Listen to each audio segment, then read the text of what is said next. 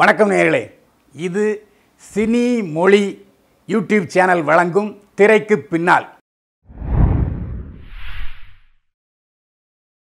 இந்த பதிவுகளை எழுதி தொகுத்து நான் பயில்வான் ரங்கநாதன் வழங்கி கொண்டிருக்கிறேன். நேர்களே இன்றைக்கு தமிழ் பேசும் அனைத்து நல்ல உள்ளங்கள் மத்தியிலும் வருத்தப்படுகிற ஒரே வினா ஏஆர் ரஹ்மானை இந்திய திரையுலகத்தினர் புறக்கணிக்கிறார்கள்.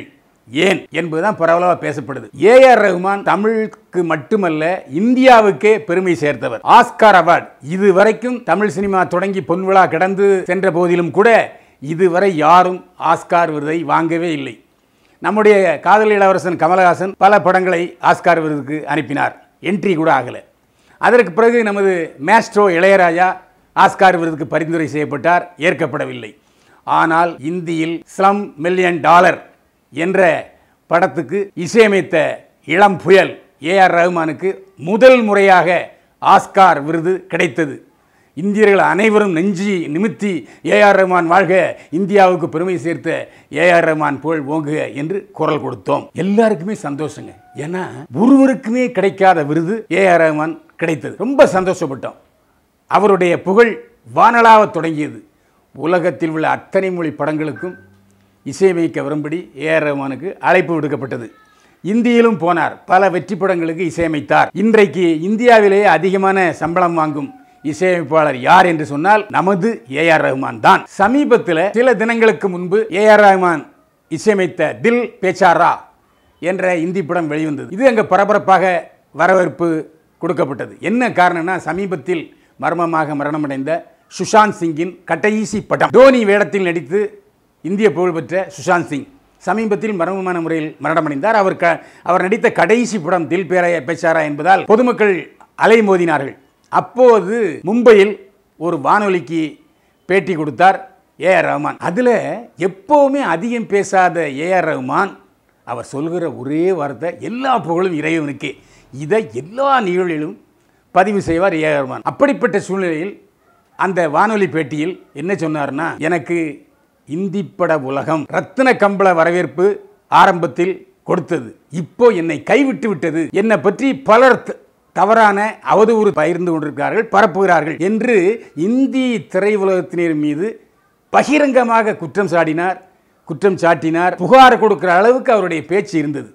ஏனென்றால் நான் ஒரு தமிழன் நான் ஆஸ்கார் விருது பெற்றேன் என்ற ஒரே காரணத்துக்காக இந்தி திரைப்பட தயாரிப்பாளர்கள் என்னை ஒப்பந்தம் செய்ய தயங்குகிறார்கள். அவ்வளவு ஏங்க? தில் பேச்சாராவுடைய இயக்குனர் முகேஷ் சோப்ரா ஏ ஆர் ரஹ்மான்ட்ட பல முறை சொல்லியிருக்காரு. ஏ ஆர் ரஹ்மான் ஏன் உங்களுக்கு இந்தி தயாரிப்பாளர் மீது இவ்வளவு காண்டு? ஈ- இவ்வளவு ஏன் விரோதம்? என்ன எதிர்ப்பு? அனைவருமே என்கிட்ட சொல்கிறாங்க ஏ ஆர் ரஹ்மானை ஏன் வீசி போட்டா வச்ச? ஏஆர் ரஹ்மானை போடக்கூடாது. போடாத போடாதுன்னு பலர் எனக்கு தொந்தரவு கொடுத்தார்கள் டார்ச்சர் கொடுத்தார்கள். இப்போ சொல்கிறேன் அந்த டார்ச்சரையும் மீறித்தான் நான் உங்களை இந்த படத்துக்கு இசையமைக்க வைத்தேன் என்று ரஹ்மானிடம் சொன்னதாக ரஹ்மான் வேதனைப்பட்டார். இன்னும் சொல்ல போனால் ரத்த கண்ணீர் வடித்தார். இந்த ரஹ்மானுடைய வருத்தம் மிகுந்த கண்டனம் மிகுந்த பேச்சு தமிழ்நாட்டில் எதிரொலித்தது மட்டுமல்ல அனைத்து தமிழர்கள் மத்தியிலும் ஒரு கொந்தளிப்பை ஏற்படுத்தியது. அதில் முக்கியமாக சொல்லணும்னா ஹிந்தி பேசுகிற மும்பையிலேயே இதற்கு பலத்த எதிர்ப்பு கிளம்பியது. மும்பையில் தாராவி பகுதியில் அதிக தமிழர்கள் வசிக்கிறார்கள். இன்னும் சொல்ல போனால் அங்கே பாரதிய ஜனதா கட்சியின் சார்பில் நம்ம ஊர் தமிழ்ச்செல்வன் சட்டமன்ற உறுப்பினராக இருக்கிறார். எங்கே? மும்பையில். அந்த அளவுக்கு தமிழர்களுடைய ஆதிக்கம் அதிகம் தமிழர்களுடைய ஓட்டு அதிகம். நிறைய தமிழர்கள் வறுமை கோட்டு கீழே வாழ்கிறாங்க அவங்க எல்லாரும் கொந்தளிச்சிட்டாங்க. ஏஆர் ரஹ்மான் வாழ்க ஏஆர் ரஹ்மானை ஒதுக்கும் இந்தி திரைப்பட உலகத்தினர் ஒழிகன்னு சொல்லி நிறைய ஆர்ப்பாட்டங்கள் போர்ப்பாட்டங்கள் ஊர்வலங்கள் நடந்தன. இதை கண்டு தாராவி அல்ல. மும்பை நகரமே வியந்து கண்களை அகல விரித்து பார்த்தது. இவ்வளவு சப்போர்ட்டு ஏறவனுக்கு இருக்கா? ஆ பெரிய ஆளுங்கப்பா தமிழர்கள். என்று அங்கு ஒரு பிரம்மாண்டமான வீரியமான எதிர்ப்பை இந்தி திரையிலவனருக்கு நம்முடைய தமிழர்கள் மும்பை தமிழர்கள் தெரிவித்தார்கள். மும்பையில் பெருந்தலைவர் காமராஜர் நினைவு பள்ளிக்கூடத்தின் தாளாளரும் தேசிய கல்விக் கழகத்தின் தலைவருமான டாக்டர் வரதராஜன் இந்த எதிர்ப்புக்கு தலைமை தாங்கினார். ஏ ஆர் ரகுமான இந்தி திரைப்பட தயாரிப்பாளர்கள் ஒதுக்குவதற்கு பயங்கர கண்டனம் தெரிவித்தார். எப்படி நீ ஒதுக்கலாம்? நாமெல்லாம் இந்திய நாடு இந்தியர்கள். ஒரு தமிழன் இங்கே வந்து இந்தி படத்தை இசையமைக்கிறான் ஆஸ்கார் விருது வாங்கியிருக்கிறார் என்று சொன்னால் அவரை நாம் கௌரவப்படுத்த வேண்டும் ஊக்கப்படுத்த வேண்டும். அவரை புகழக்குரியவராக்க வேண்டும். அதை விட்டு விட்டு ஏறமனை போடாத ஏ ஏறமனை போடாத எப்படியா நீ சொல்லலாம்? என்று கண்டனம் தெரிவித்தார். அது மட்டுமல்ல அங்கே சேகர் கபூர் அவர் பெரிய இந்தி பட தயாரிப்பாளர். அவர் என்ன சொல்கிறாருன்னா ஏஆர் ரஹ்மானு ஆஸ்கார் விருது வாங்கியது மரணத்தை முத்தமிடுவது போல். என்று கேவலமாக பேசுகிறார் அதாவது ஆஸ்கார் விருது வாங்கிட்டேன்னா நீ பெரிய இதா? அப்படி என்று கேவலமாக சேகர் கபூர் பேசியிருக்கிறார். ஆஸ்கார் விருது உங்களுக்கு கிடைத்தது எங்களுடைய புகழை அவமரியாதைப்படுத்துவதாகும் என்று ரஹ்மான் மீது அவதூறு பரப்பியிருக்கு இது மோசமான செயல். பேரங்கி அண்ணா சொல்வார் வடக்கு வாழுது தெற்கு தேயுதுன்னு. இப்போ மறுபடியும் ஐம்பது ஆண்டு கால இடைவெளிக்கு பின்னால் அந்த முழக்கத்தையும் தமிழர்கள் எழுப்ப வேண்டும் என்கிற அபாய சூழ்நிலையை உருவாக்கி விடாதீர்கள். இன்றைக்கு இந்தியா ஒன்றுபட்ட நாடு பல மொழிகள் பேசினாலும் வேற்றுமையிலே ஒற்றுமையை காண்கிற நாடு என்று இந்தியா பெருமைப்பட்டு கொண்டிருக்கிற நேரத்திலே இந்த மாதிரி ஒரு தமிழன் ஏஆர் ரஹ்மான் அவரை நீங்கள் இந்தி திரைப்பட உலகத்தினர் வெறுத்து ஒதுக்கினால் அதை தமிழர்கள் பொறுத்து கொள்ள மாட்டார்கள். இது வேண்டுகோள் அல்ல எச்சரிக்கை. ஏன்னா ஒரு காலத்தில் சென்னையில் இந்தி பேசுபவர்கள் புறக்கணிக்கப்பட்டார்கள். மார்வாடிகள் அனைவரும் உயிரை கையிலே பிடித்துக் கொண்டிருந்தார்கள். அந்த சூழலை மறுபடி வேண்டாம். இதெல்லாம் விட்டுருங்க. ஆனா சில பிளாஷ்பேக்கை நாம கவனிக்க வேண்டி இருக்கிறது இது இன்னைக்கு நேத்திக்கா? இல்லை. ஏஆர் ரஹ்மானுக்கு ஆஸ்கார் விருது வழங்கும் பொழுது இன்னொரு கேரளத்தை சேர்ந்த ரசூல் பூக்குட்டி ஒலி அமைப்புக்காக ஆஸ்கார் விருது பெற்றாருங்க. அவரும் நல்ல பெரிய பெரிய படங்கள் கமலஹாசன் படங்கள் பிரம்மாண்ட படங்களை ஒலி சேர்க்கை அமைத்தவர் ரொம்ப திறமைசார் அதாவது அந்த ஒலி ஒலி அமைப்புக்காகவே புறப்படுத்தது போல தன்னுடைய வாழ்க்கையை அர்ப்பணித்தவர் ரசூல் பூக்குட்டி. ரசூல் பூக்குட்டிக்கு ஆரம்பத்தில் நிறைய இந்தி பட வாய்ப்புகள் கிடைத்தது. ஆனால் அவரையும் நீ ஆஸ்கார் விருது வாங்கியிருக்க நீ சரிப்பட்டு வராது என்று ஒதுக்கி விட்டார்கள். இப்போ இந்தி பட வாய்ப்பு சுத்தமாக ரசூல் பூக்குட்டிக்கும் இல்லை. அவர் வருத்தப்பட்டார். நான் நினச்சிருந்தேன் நாங்கள் ஹாலிவுட்டுக்கு போயிருப்பேன். அங்கே கோடி கோடியாக சம்பளம் தரேன்னு சொன்னாங்க. ஆனால் எனக்கு நான் ஒரு இந்தியன் என்பதில் நான் பெருமைப்படுகிறேன்.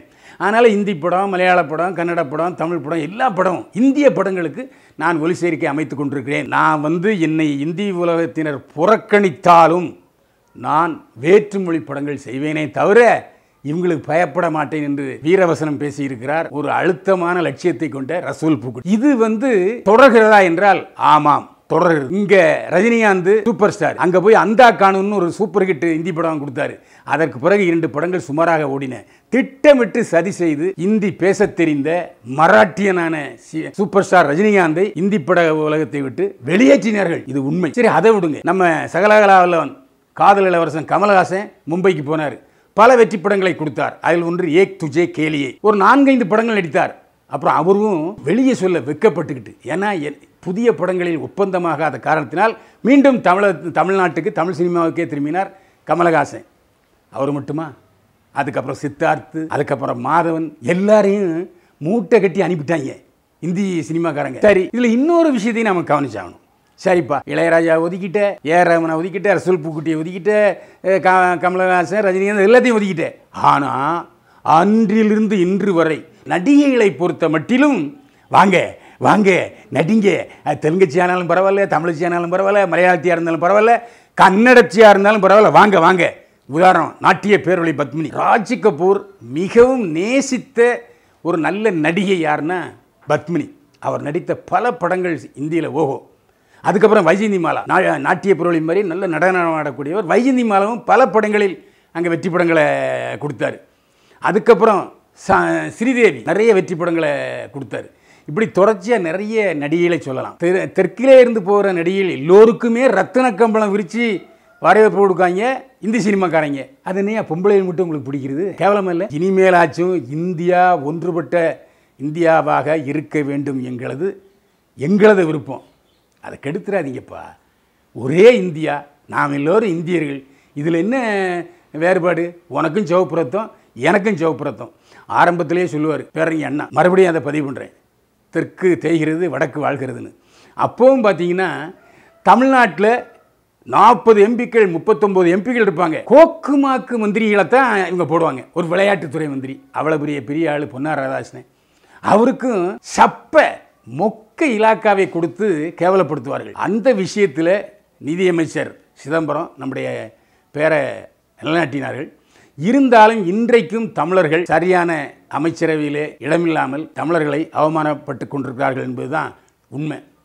இது வேண்டாம் என்பது நம்முடைய கோரிக்கை. இதை எச்சரிக்கையான வேண்டுகோளாக கூட எடுத்துக்கொள்ளலாம். நடிகர் சுஷாந்த் சிங் மரணம். விசாரணைக்கு வரும்படி நடிகை கங்கனா ராவத்துக்கு நோட்டீஸ். இதுவும் சமீபத்தில் இந்தி பட உலகனுடைய நல்ல பேரை செதச்சிருச்சு. அதாவது வாரிசு நடிகருடைய கொடுமை டார்ச்சர் தாழாமல் டோனி வேடத்தில் நடித்த சுஷாந்த் சிங் மர்மமான முறையில் மரணமடைந்தார் என்பது இந்தியா முழுக்க மட்டுமல்ல உலகம் முழுக்க இந்த செய்தி பரவி இந்தி சினிமாக்காரங்களை ஒரு வழி பண்ணிடுச்சு. முதல் நடவடிக்கையாக நடிகை கங்கனா ராவத் அவரும் ஏதோ டார்ச்சர் கொடுத்துருக்காரு. இதன் காரணமாக உடனடியாக விசாரணைக்கு வரும்படி போலீசார் கங்கனா ராவத்துக்கு நோட்டீஸ் அனுப்பியிருக்கார்கள்.